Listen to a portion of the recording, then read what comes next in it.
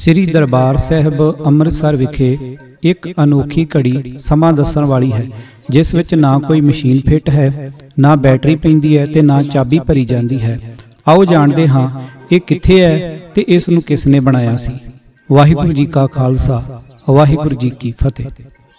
ਜਦੋਂ ਅਸੀਂ ਦਰਸ਼ਨੀ ਡਿਉੜੀ ਤੋਂ ਦਰਬਾਰ ਸਾਹਿਬ ਮੱਥਾ ਟੇਕਣ ਲਈ ਜਾਂਦੇ ਹਾਂ ਤਾਂ ਸਰੋਵਰ ਦੇ ਉੱਤੇ ਬਣੇ ਹੋਏ ਰਸਤੇ ਦੇ ਅੱਧ ਵਿੱਚ ਪਹੁੰਚ ਕੇ ਤੁਹਾਨੂੰ ਇੱਕ ਗੋਲ ਬੁਰਜੀ ਤੇ ਉਹਦੇ ਉੱਤੇ ਤਾਂਬੇ ਦਾ ਇੱਕ ਪੱਤਰਾ ਜੜਿਆ ਹੋਇਆ ਦਿਖਾਈ ਦੇਵੇਗਾ।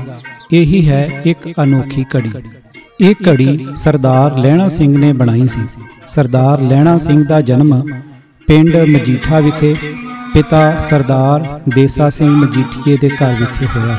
ਇਸ ਦੀ ਵਿਲੱਖਣਤਾ ਇਹ ਹੈ ਕਿ ਨਾ ਇਸ ਨੂੰ ਚਾਬੀ ਦਿੱਤੀ ਜਾਂਦੀ ਹੈ। ਨਾ ਇਹਦੇ ਵਿੱਚ ਕੋਈ ਬੈਟਰੀ ਪੈਂਦੀ ਹੈ ਤੇ ਨਾ ਹੀ ਕੋਈ ਇਹਦੇ ਵਿੱਚ ਮਸ਼ੀਨਰੀ ਫਿੱਟ ਕੀਤੀ ਗਈ ਹੈ। ਇਸ ਗੋਲ ਬੁਰਜੀ ਤੇ ਤਿੰਨਾਂ ਪਾਸਿਆਂ ਦੇ ਉੱਤੇ ਤੁਹਾਨੂੰ ਖਾਸ ਨਿਸ਼ਾਨ ਅਤੇ ਹਿੰਦਸੇ ਦਿਖਾਈ ਦੇਣਗੇ, ਜਿਸ ਨਾਲ ਕੇਵਲ ਘੜੀਆਂ, ਪਲਾਂ ਅਤੇ ਪੈਰਾਂ ਦਾ ਹੀ ਪਤਾ ਨਹੀਂ ਲੱਗਦਾ, ਸਗੋਂ ਚੰਦਰਮਾ ਦਾ ਵਧਣਾ ਅਤੇ ਘਟਾਅ ਵੀ ਸਾਫ਼-ਸਾਫ਼ ਦਿਖਾਈ ਦਿੰਦਾ ਹੈ। ਸਰਦਾਰ ਲਹਿਣਾ ਸਿੰਘ ਨੇ ਜਦ ਇਹ ਪਹਿਲੀ ਵਾਰ ਘੜੀ ਮਹਾਰਾਜਾ ਰਣਜੀਤ ਸਿੰਘ ਦੀ ਹਜ਼ੂਰੀ ਵਿੱਚ ਪੇਸ਼ ਕੀਤੀ। ਤਾਂ ਸ਼ੇਰੇ ਪੰਜਾਬ ਇੰਨੇ ਪ੍ਰਸੰਨ ਹੋਏ ਕਿ ਭਰੇ ਦਰਬਾਰ ਵਿੱਚ ਆਪ ਜੀ ਦੀ ਵੱਡੀ ਸ਼ਲਾਘਾ ਕੀਤੀ ਗਈ। ਇਸ ਤੋਂ ਛੁੱਟ ਇੱਕ ਵੱਡੀ ਜਾਗੀਰ ਦੇ ਨਾਲ ਖਾਲਸਾ ਰਾਜ ਦਾ ਉੱਚਾ ਖਿਤਾਬ ਕੈਸਰ ਉਲ ਇਕਤਦਾਰ ਬਖਸ਼ਿਆ। ਮਹਾਰਾਜਾ ਰਣਜੀਤ ਸਿੰਘ ਨੇ ਇਹ ਸਮਾਂ ਦੱਸਣ ਵਾਲੀ ਘੜੀ ਦਰਬਾਰ ਸਾਹਿਬ ਭੇਟਾ ਕਰ ਦਿੱਤੀ।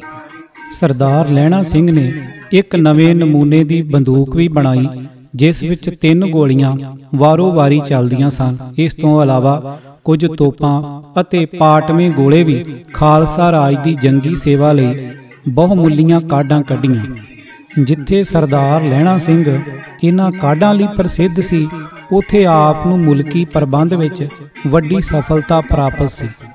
ਸਰਦਾਰ ਲਹਿਣਾ ਸਿੰਘ ਦੇ ਪਿਤਾ ਸਰਦਾਰ ਦੇਸਾ ਸਿੰਘ ਜੀ ਮਜੀਠੀਆ ਸਨ 1832 ਵਿੱਚ ਅਕਾਲ ਚਲਾਣਾ ਕਰ ਗਏ।